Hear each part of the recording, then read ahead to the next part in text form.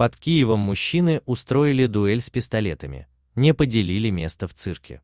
В Киевской области мужчины не поделили место в передвижном цирке и устроили стрельбу на глазах у толпы людей.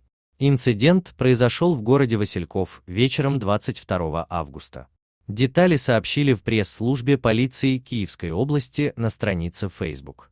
Как сообщили в полиции, 22 августа около 19 часов 30 минут между двумя мужчинами в Василькове возник конфликт из-за нехватки посадочных мест во время представления передвижного цирка. Конфликт быстро начал разгораться, и один из фигурантов достал пистолет. В результате конфликта один из мужчин выхватил пистолет для отстрела резиновых пуль наган и начал стрелять во второго.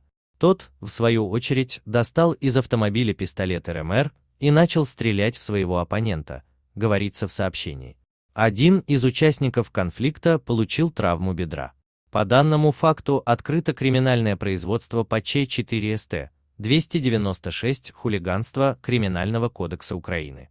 Оба участника конфликта задержаны в порядке СТ 208 Криминального процессуального кодекса Украины. Они находятся в изоляторе временного удержания.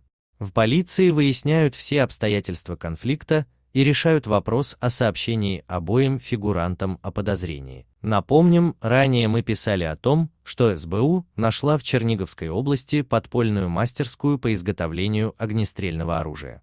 А также рассказывали о том, что в кафе в центре Львова мужчина устроил стрельбу.